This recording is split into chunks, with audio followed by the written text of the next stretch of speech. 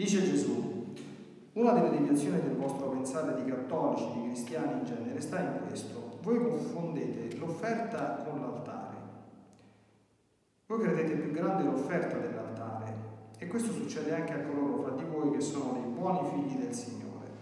Ve ne parlo per correggervi. Le vostre offerte di preghiere e di sacrifici mi sono tanto care e soltanto nel paradiso vedrete usate quanto bene ho fatto con esse. Voi mi date le vostre povere cose, sempre intrise di umanità, sempre sporche da imperfezioni. Non avete altro da darmi di più bello. L'uomo, anche il migliore, sinché è uomo, è sempre soggetto ad essere imperfetto. Quando sarete qui con me, non sarete più tali. Le vostre azioni sono sempre imperfette agli ma io guardo al vostro sforzo e all'affetto, alla rettitudine con cui le offrite e non le sdegno, tutt'altro. Le prendo anzi con amore e le santifico, le purifico con il mio contatto e fatte tutte sante eppure le uso per il bene del mondo e per il vostro bene. Oh, io sono un banchiere onesto e buono, non lascio inerti i vostri risparmi, non li uso per me o per altri, lasciando bene primi dei frutti, ma anzi tesaurizzo per voi, eppure spendendo le vostre monete per i bisogni del mondo, con amore accumulo il frutto di esse, perché lo troviate all'ora della morte e vi sia dote per entrare nel mio regno. Voi dunque mi date le vostre povere cose, sempre imperfette, ma a me tanto care. Le date a me, perché io, l'ho detto, tutto quanto fate di opere buone al e per il prossimo vostro lo fate a me. Ed è dare al prossimo tanto dare il pane, l'acqua, l'ospitalità, la veste, il conforto, l'insegnamento, l'esempio, come dare per esso la vita, offrendomela per la salvezza di uno, di molti e per il trionfo del bene, del mio bene nel mondo. Ma qualunque cosa vi diate, pensate sempre che non è per essa che avete quanto chiedete, ma per il vostro Dio. Sono io, ossia l'altare, perché l'altare sta a rappresentare il trono di Dio che vi faccio grazia, sono io che santifico l'offerta e non l'offerta che santifica me. Sono io che voglio e posso e non voi che potete e volete.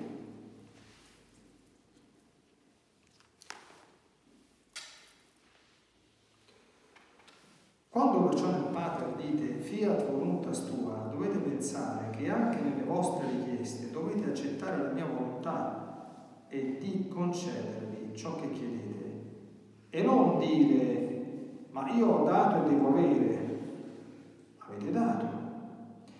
E che abbiate una fede e fiducia tanto grande in me che vi paia impossibile che io non intervenga ad esaurirvi, è per me più dolce di una carezza di figlio. Ma se per un pensiero che voi non potete comprendere, io non do, voi dovete darmi non una carezza, ma il bacio, forma di amore più profonda della carezza, il bacio della vostra pronta, ilare, umile, santa obbedienza e rassegnazione alla mia volontà. L'altare è da molto più dell'offerta che vi sta sopra ed è l'altare quello che parla. Non confondete perciò la cosa con colui a cui la cosa è data. Non vi voglio chiamare farisei perché in questa lieve colpa cadete proprio voi che siete più generosi, più volenterosi di amarmi con ricchezza e rettezza di cuore. I farisei agiscono con multiformi errori, voi avete solo questo nella vostra attitudine con Dio. Ma poiché io vi ho detto siate perfetti, levatevi anche questo dal cuore.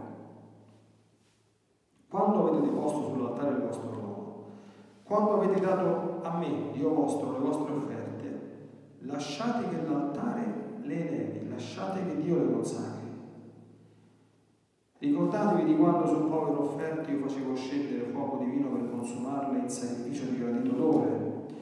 Nessun sacerdote, nessun fuoco è da più di me, che prendo il vostro dono, lo consacro, lo consumo e lo uso per ciò che trovo utile, anche se a voi così non appare. nessun dono diventa più bello di quello che viene dato, non solo come forma ma anche come pensiero.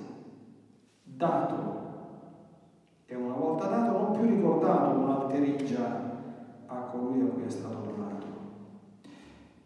Mi basta la mia intelligenza per ricordarmi di voi, mi basta il vostro sorriso, il vostro dire Gesù, Padre, per tenermi presente, come se il vostro angelo alzasse all'altezza del mio sguardo la vostra offerta. Animo figli miei, il mondo è feroce, è cosa che passa e più non torna. Io resto con la mia bontà e con me resta il mio mondo paradisiaco dove siete attesi per dimenticarvi in un'eterna gioia tutti gli orrori della terra.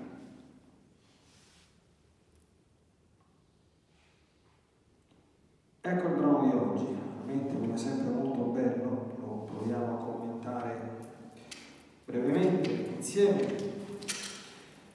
Il centro di questo insegnamento distinzione tra l'offerta e l'altare penso che l'abbiamo compresa abbastanza bene e penso che abbiamo anche compreso abbastanza bene che qui Gesù parla, come ha specificato, alle anime migliori, a quelle che stanno incamminate nella santità, perché chi si offre a Dio, Gesù specifica di puoi offrire a un povero, mangiare, bere, dormire, ospitalità, insegnamento, ascolto, oppure la vita. C'è una neanche troppo implicita allusione a chi si offre come vittima. Era la prima apparizione di Fatima, se non ricordo male, proprio il primo giorno in cui la Madonna chiese ai pastorelli volete offrirvi come vittime.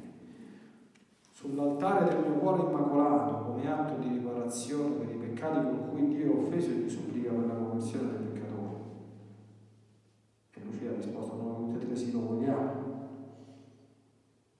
Ed è sull'altare del mio cuore immacolato, disse la Madonna. No? Qui Gesù specifica che l'altare è Lui. È molto bello perché dice anche delle cose riguardanti la purificazione delle nostre imperfezioni strutturali, sono le stesse identiche che San Luigi Monfort dice attribuendole al ruolo che la Madonna svolge quando ci si consacra totalmente a lei. E questo è un punto molto molto importante. Non so quanti di noi, io vi auguro di poter avere questa grazia, hanno la percezione profonda, sapienziale della nostra radicale imperfezione. Noi possiamo fare tutto quello che vogliamo, ma un'opera perfettissima agli occhi di Dio non lo possiamo fare, non c'è nessuna speranza in questo mondo. Certo, noi sappiamo che abbiamo l'arma di Maria, a cui tutto perché lo purifichi, e abbiamo adesso pure l'arma del Divina Volontà, e qui a, a Maria Voltorta ha detto altro Gesù. Ecco. In contemporanea, qui era ancora viva anche Luisa, siamo nel 44, Luisa è morta nel 47, anche se i libri di erano già finiti. Abbiamo quest'altra arma,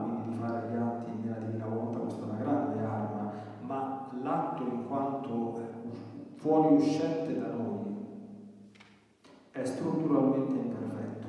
Perfetto vuol dire che ci manca sempre qualcosa, o che è viziato da qualcuna delle nostre ataviche tare che ci portiamo dietro. Possono essere infinite, non so, non so se il caso di fare qualche, qualche esempio, può essere la superbia, il desiderio di apparire, di piacere agli uomini, eh, oppure ecco, di pensare di, di, di, valere qualcosa agli occhi del Signore, come fa questi esempi Gesù, no? o di essere, perché abbiamo fatto qualcosa, in diritto di avere qualcosa da Lui.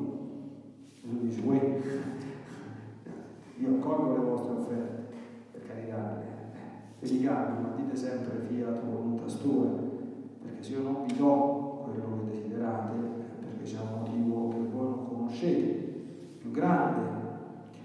E quindi in ricambio di quello che non vi do, cioè non solo datemi una carezza, ma datemi un bacio, dice, che è una forma di amore più profonda della carezza, cioè la vostra pronta, ilare, umile obbedienza e rassegnazione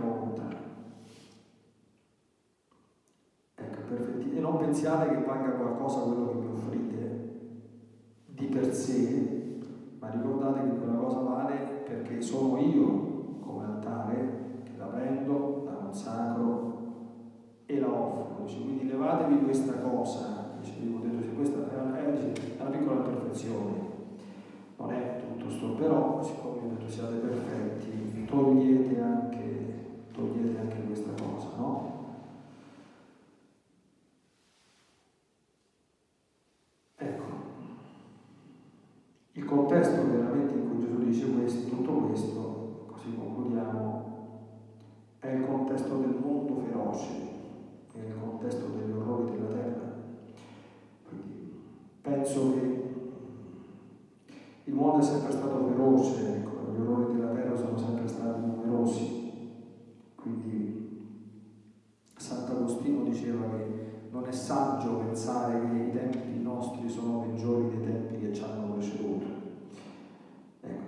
sì, certamente in linea di massima è però eh, come ben sappiamo stiamo a duemila anni dall'opera della redenzione.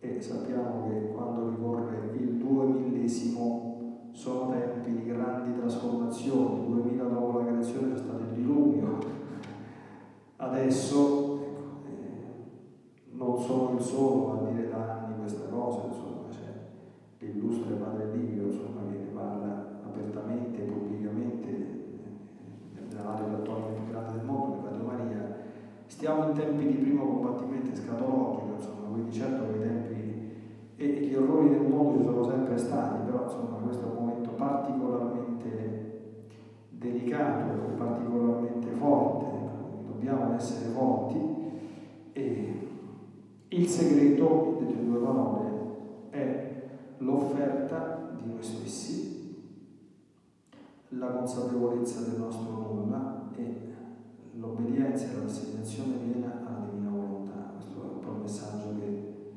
Gesù ci lascia in questo, in questo brano e, e, lo facciamo nostro, certi che eh, Gesù ci ha detto sa